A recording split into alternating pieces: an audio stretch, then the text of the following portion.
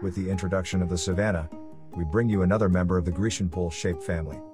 The Savannah is a beautiful rectangular pool shape, but we still classify it as a Grecian pool due to the extended shallow end entry steps and bench seating on both sides. The Savannah is very similar to our Hawaiian pool model, but it is slightly longer and deeper than the Hawaiian. So, what makes the Savannah unique? We really enjoy the increased width that the Savannah provides. Its overall width of 13.2 inches makes for a comfortable space for swimmers to stretch out. The Savannah is certainly not classified as a deep end swimming pool.